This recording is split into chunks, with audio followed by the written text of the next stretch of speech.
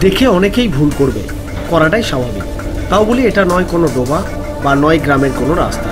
এটা শহর বর্ধমানের সব থেকে গুরুত্বপূর্ণ একটি রাস্তার ছবি।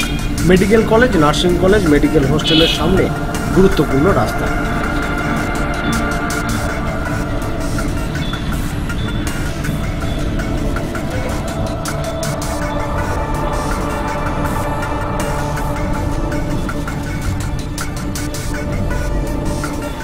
উন্নয়ন হয়েছে।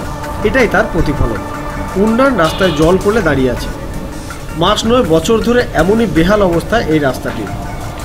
অনেকবার খবর করার চেষ্টা করা হলেও দায়িত্ববান কাউন্সিলর আশ্বাস দেন, হয়ে যাবে। কিন্তু কোনো এক অজানা কারণে আজও একই অবস্থায়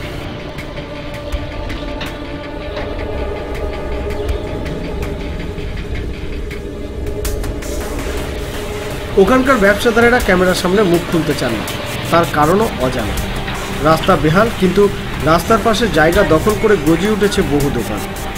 আসল বিষয়টি কি জানার থেকেও গুরুত্বপূর্ণ সত্তর রাস্তাটি চলাচলের উপযুক্ত করা হয়েছে মুখ্যমন্ত্রী মমতা বন্দ্যোপাধ্যায় যেখানে রাজ্যের উন্নয়নের জোয়ার বইয়ে দিয়েছে, সেখানে শহর বর্ধমানের গুরুত্বপূর্ণ রাস্তার এমন বেহাল দশা এলাকার কাউন্সিলরের উন্নয়নকে মানুষের প্রশ্ন চিহ্নের মুখে পড়তে হয়েছে। মাননীয় সাংসদ তথা সর্বভারতীয় তৃণমূল যুব কংগ্রেসের সভাপতি অভিষেক ব্যানার্জি নির্দেশ দিয়েছেন, একুশ তারিখ আজ থেকে আমাদের জনসংযোগ র্যালি, প্রতিটা বুথে আমাদের জনসংযোগ র্যালি করতে হবে, ঠিক আছে? প্লাস আমাদেরকে নির্দেশ দিয়েছেন যে যে যে জায়গায় আমরা হেরেছি, আমরা যারা পার্টি করি, তাদের আত্মসমীক্ষার দরকার আছে যে কী কারণে আমরা ওই জায়গায় হেরেছি।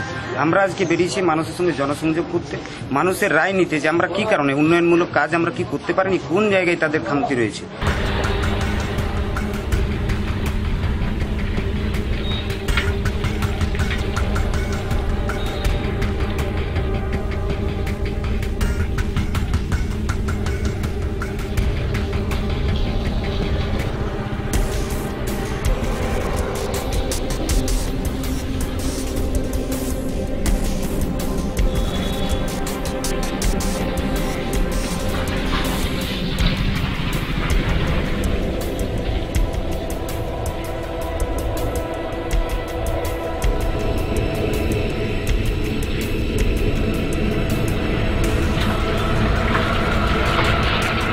বর্ধমান থেকে রাজীব মণ্ডল আনন্দ বার্তা।